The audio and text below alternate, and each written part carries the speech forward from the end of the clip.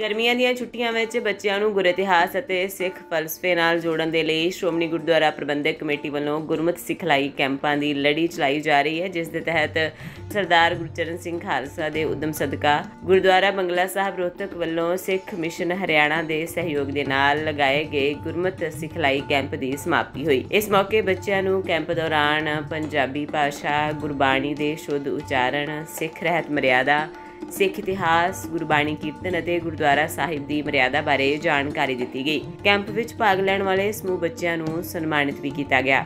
Camp ਦੌਰਾਨ ਹਿੰਦੂ ਭਾਈਚਾਰੇ ਅਤੇ ਜਾਟ ਭਾਈਚਾਰੇ ਦੇ ਬੱਚਿਆਂ ਨੇ ਵੀ ਸ਼ਮੂਲੀਅਤ ਕਰਦਿਆਂ ਸਿੱਖ ਇਤਿਹਾਸ ਅਤੇ ਪੰਜਾਬੀ ਭਾਸ਼ਾ ਬਾਰੇ ਗਿਆਨ ਹਾਸਲ ਕੀਤਾ।